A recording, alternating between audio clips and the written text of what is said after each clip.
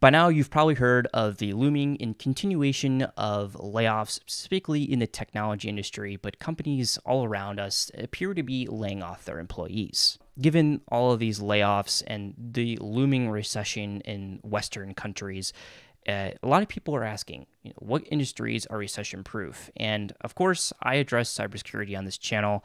So, is cybersecurity a recession proof job? And my honest answer is I really don't know. I, I, really think it comes down to a yes and no, and it depends type answer. With that being said, I do want to talk about maybe a few strategies and strategies that I'm incorporating specifically right now to help myself in this kind of period of time. In my opinion, which of course I'm just one individual, I do think that cybersecurity can and can't be uh, and it all depends on the context of how you're looking at the industry. So, in a for profit company context, which a lot of us are in right now, um, security departments, personnel, and employees, and the corresponding security tools, they're all kind of seen as an expenditure for a company. They are not direct revenue drivers or growth drivers for a company. In turn, if you look at recession kind of proof uh, industries such as governments, healthcare, critical infrastructure companies, or, or organizations,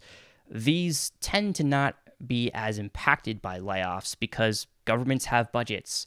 People hopefully are still visiting the doctor, and the community still needs clean water and power. So it just all depends on the context of how you're looking at security industry in general. So, what can we do about this? Well, I've been recently talking about some of the strategies that I've been using in my newsletter. You're welcome to sign up here. I talk about just random career stuff and and fun projects, and basically, um, especially for entry level candidates, the barrier to entry is just getting that much harder. So, with the tech layoffs and companies in general, what we're seeing is a huge pool of experienced, qualified candidates that have prestigious companies behind their names.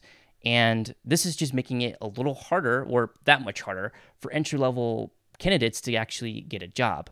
Now, when it comes to the context of experienced professionals, a lot of them have been having success, at least here in the past like few months, with getting jobs in small to medium sized businesses because they still need, of course, experienced qualified professionals. But when it comes to entry level candidates that maybe don't have as many years of experience, it can be a little more complex. So, some of the strategies that I've sort of been using, and I talk about this a lot on this channel, but a lot of them uh, correspond to or come down to uh, generic advice, which is building a portfolio, applying to a pool of industries, and specifically kind of targeting recession proof industries right now, and then widening your overall scope. So, building a portfolio. I've talked about this for a while, and basically it comes down to how are you making yourself different from other candidates who are applying to the same job?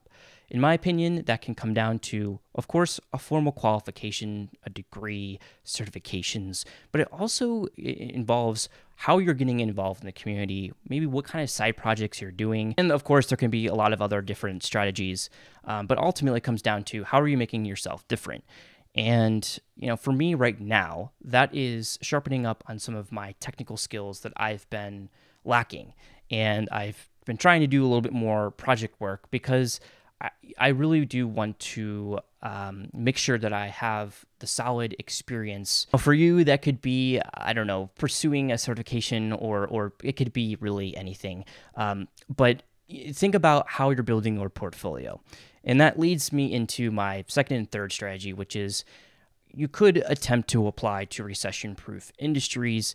Uh, a lot of these industries are still looking for cybersecurity professionals. Now, because there's such a huge skill shortage gap, um, you know, you may be able to find and land yourself in a junior or entry level position uh, where you're able to grow into a role.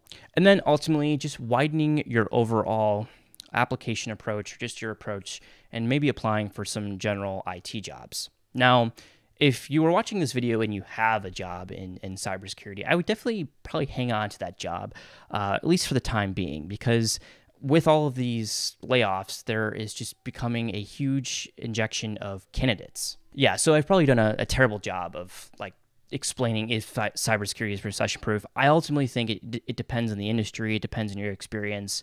And um, you know it's a not a yes or no answer. It's it's a yes and no answer. I don't know. So hopefully you've gotten some sort of value out of this video, and uh, yeah, well, until the next time, have a good day.